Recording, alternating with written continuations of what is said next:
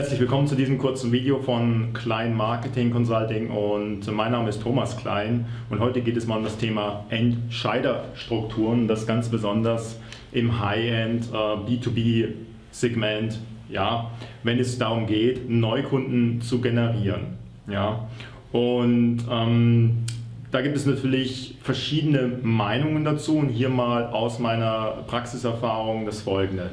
Meisten sagen ja, also in einem Unternehmen ja, gibt, ist die Entscheiderstruktur, sieht ungefähr so aus. Ja. Hier ist ein Entscheider. Ja. Und an den Entscheider, mit dem möchte ich natürlich sprechen. Ja. Denn der entscheidet letztendlich über das Budget, über verschiedene Projekte, wann sie stattfinden werden, mit welchen Herstellern oder mit welcher Lösung er dieses Projekt dann umsetzen möchte, etc. etc. Und dieser Entscheider, ganz normal, ja, das wissen wir alle, hat auch verschiedene Mitarbeiter und Influencer, I.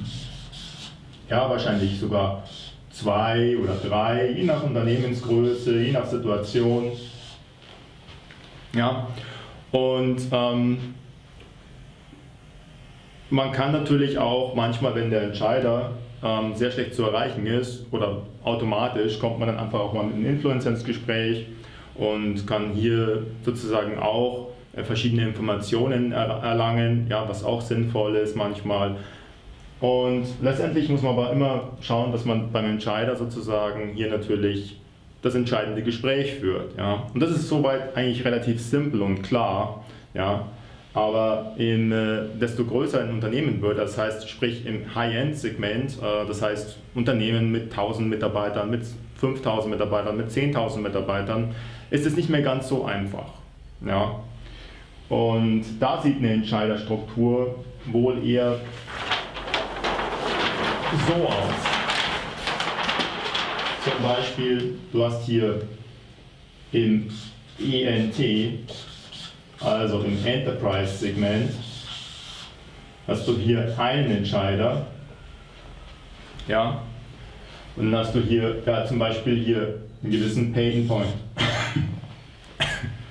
ja, und dieser Entscheider hat einen gewissen Pain Point. Ja.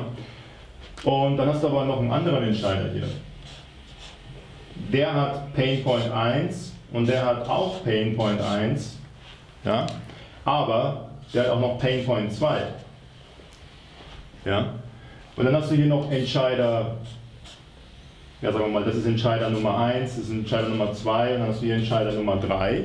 Ja, und die haben alle miteinander zu tun, letztendlich über die Lösung, eine komplexe, zum Beispiel IT-Lösung, die du verkaufen möchtest, haben alle diese Entscheider sozusagen sind mit involviert und haben mehr oder weniger gleiches Gewicht in der Entscheidungsgewalt. Ja? Und dieser hier, der hat zum Beispiel Pain Point ähm, 2, ja, der hat aber gar nicht den Painpoint von Entscheider Nummer 1, sondern der hat nochmal einen anderen Painpoint, nämlich den Painpoint Nummer 3. Und jetzt folgender Punkt. Und ähm, wenn du jetzt hier sozusagen als Vertriebsprofi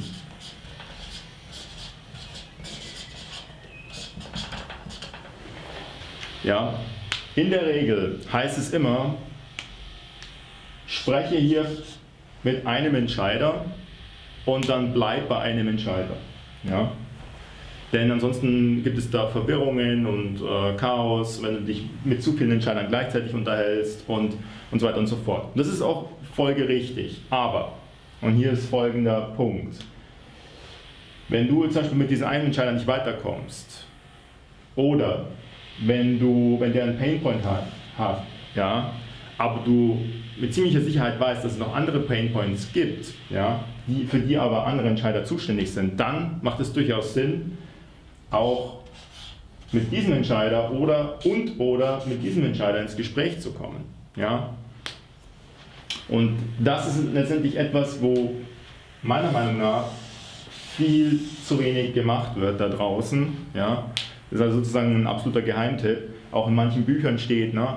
konzentriere dich auf einen Entscheider, ja, und ähm, da halte ich nicht mit zu vielen gleichzeitig, was grundsätzlich auch okay ist, wenn du hier auch zu deinem Ziel erreichst und hier weiterkommst. Wenn du aber hier nicht weiterkommst, ne, und in größeren Unternehmen und viele Vertriebler haben das einfach nicht immer auf dem, in ihrem Bewusstsein drinnen, ja, dass es ganz viele andere Entscheider gibt noch, ja, die vielleicht nicht zu 100% mit diesem Problem hier zu tun haben, aber zu 50%.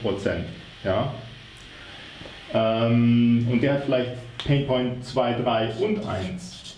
Ja, der hat ganz viele Probleme. Ja. Und wenn du jetzt zum Beispiel ein IT-Systemhaus bist, ein Vertriebler in einem IT-Systemhaus, wo eine ganz breit, äh, große Bandbreite hat an potenziellen äh, Lösungswegen, ähm, ja, dann hast du vielleicht letztendlich, wenn du dich zufällig den Entscheider hier eruierst ja, und dich nur auf den konzentrierst, dann hast du hier vielleicht Lösungen für dieses Problem und Lösungen für dieses Problem einfach außen vor gelassen. Ja.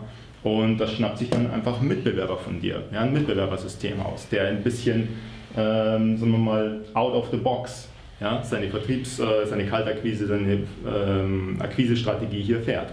Ja, das war soweit einfach mal so ein wichtiger, äh, wichtiger Tipp aus der Praxis zum Thema Entscheiderstrukturen. Ja.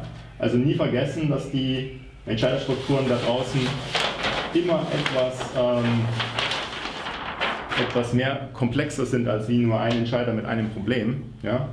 Und ja, das war's für dieses Video. Freut mich, wenn du dir ein, wenn du dem Video einen Daumen hoch gibst und ähm, lass mir einen Kommentar da, wenn du willst. Und abonniere den Kanal, dann bist du auch bei den nächsten Videos wieder mit dabei. Für mich heißt es jetzt Tschüss, bis zum nächsten Mal, dein Thomas Klein. Bye bye.